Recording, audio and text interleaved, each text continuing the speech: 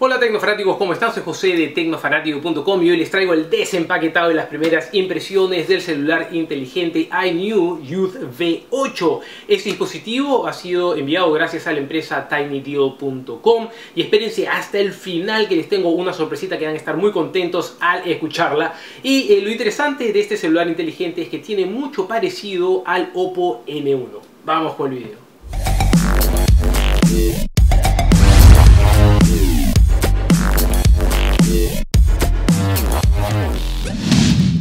Como ustedes pueden ver ya yo he retirado la caja principal, pero aquí tenemos el dispositivo.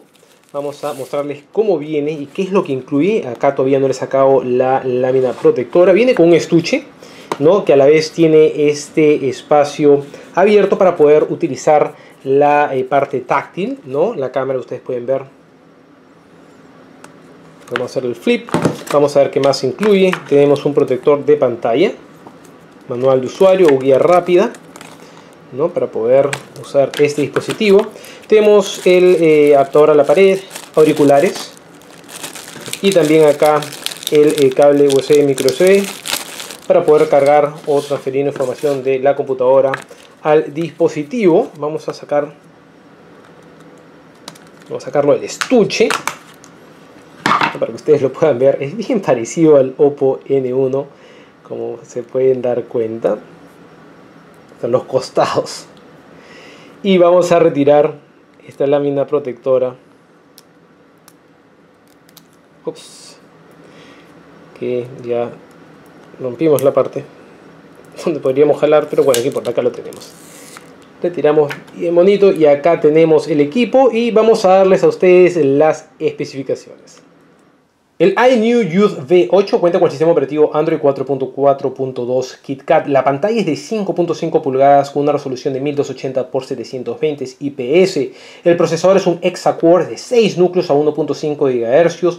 Eh, la memoria RAM es de 1 GB, 16 GB de memoria interna expandible por media ranura microSD hasta 32 GB. Cuenta con una cámara que, como ustedes pueden ver, eh, gira hasta 210 grados, o sea, van a poderlo utilizar como cámara frontal como también como cámara posterior. Es de 13 megapíxeles con doble flash en LED. La batería es de 2400 mAh, conectividad Wi-Fi, Bluetooth 2.0, GPS, NFC, el grosor es de 8.3 milímetros, su peso es de 179 gramos, tiene una capacidad para albergar dos tarjetas SIM y soporta redes 2G y 3G. Su valor es de 249 dólares con 99 y lo pueden conseguir por medio de la página web tinydeal.com. Ya saben, debajo estoy viendo en la descripción, va a encontrar el link.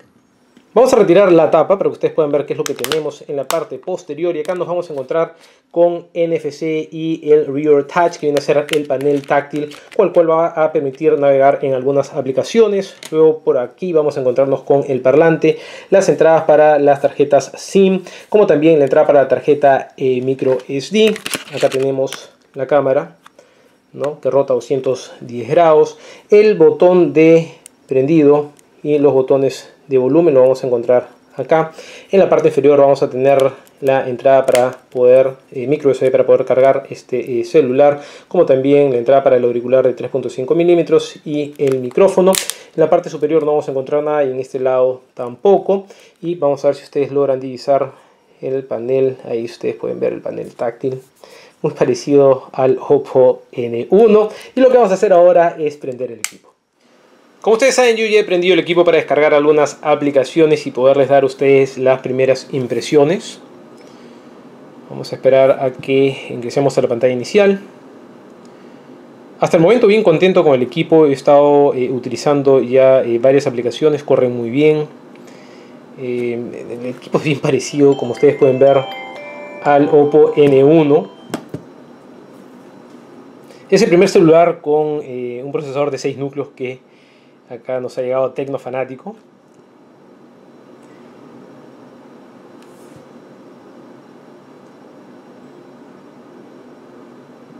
Y estamos listos. Ok, entonces vamos a enseñarles a ustedes eh, lo del panel posterior. Que como ustedes pueden apreciar acá, podemos ir de eh, ventana en ventana, pero es algo que yo no lo veo muy útil en mi caso, ¿no? Y también, por ejemplo, voy a hacer el doble clic un rato. Déjenme nada más ver que no se muestre mi cuenta. Ok, no se muestra. Entonces ahí va. Cuando hacemos el doble clic nos va a llevar a la aplicación Play Store, que es la que yo he decidido que eh, se active una vez que haga el doble clic en, en, el panel táctil. Vamos a Chrome para que ustedes puedan ver la rapidez de descarga de nuestra página web de Tecnofanático. Y vamos a mostrarles a ustedes también que pueden utilizar el panel posterior para poder navegar en él. Y ya está. Podemos ver que es fluido, no vamos a tener ningún problema al momento de navegar, el doble clic funciona muy bien, podemos ampliar. Y como les comenté vamos a poder utilizar también el panel posterior para poder navegar. Y en caso de que eh, quieran ir a Google Play rápidamente o una aplicación o la aplicación que ustedes tienen disponible con el doble clic pues van a poder ir al Play Store y nuevamente regresamos a la aplicación anterior al momento de hacer el doble clic. Ese es el problema que a veces no me doy cuenta de dónde está el panel Ahora sí. Ahí está. Entonces, como les digo, eh, yo no soy muy partidario de este tipo de funciones, otra vez el doble clic, ¿no? Hasta que uno se acostumbra. Ahí está, ahora sí. Y vamos a poder seguir eh, navegando por la página web de tecnofanatico.com. Vamos a abrir algunas aplicaciones. En este caso vamos a, por ejemplo, Virtual Tennis rápidamente y van a ver de que la aplicación va a abrir rápido. O nos va a llevar directamente al juego de forma rápida. Ya estamos ya.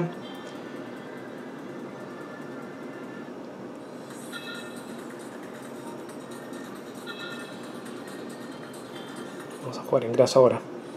Vamos a cambiar un poco. Y listo vamos a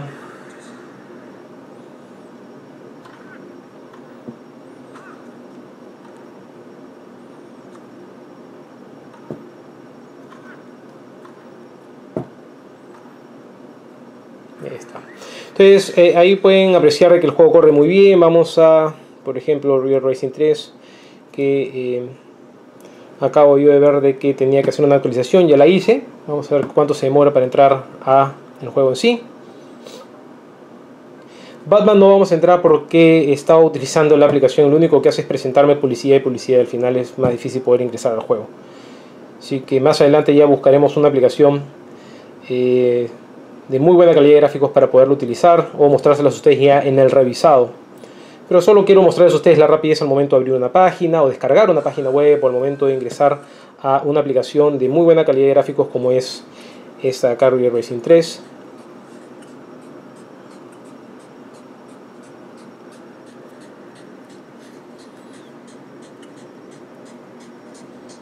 Ya estamos listos. Vamos a ponerme en una mejor posición.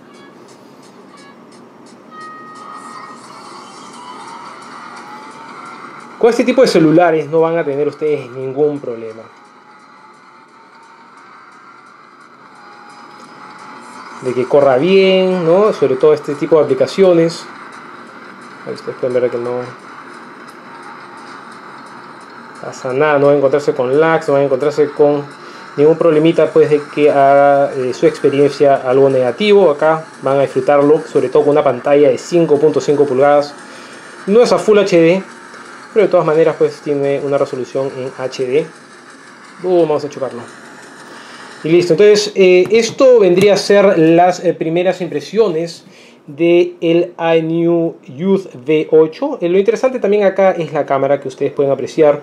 Es giratoria 210 grados y van a poder utilizar para capturar selfies ¿no? con una cámara de 13 megapíxeles. Y también vamos a enseñarles a ustedes el eh, sistema operativo, vamos a Settings About the Phone. Y acá dice Android 4.4.2 y ahí ustedes pueden ver. Es Android 4.4 eh, Android 4.4.2 perdón. Entonces tiene eh, ahorita la última versión ¿no? Y la verdad que estamos contentos con este dispositivo, se ve muy interesante, responde muy bien, eh, aunque no soy partidario de esta parte de atrás, puede ser que uno se llegue a acostumbrar, ustedes van a tenerlo como un extra más, y el diseño, como aprecian acá, es muy parecido al Oppo N1. Y la sorpresita que les quería dar es que la empresa Tiny Deal estará haciendo un sorteo por medio de nuestro canal en YouTube de uno de estos celulares iNew Youth V8. El día viernes estaré yo posteando el video para que ustedes sepan cuáles son los pasos a seguir para poder participar. Así que estén atentos este viernes a el video del sorteo.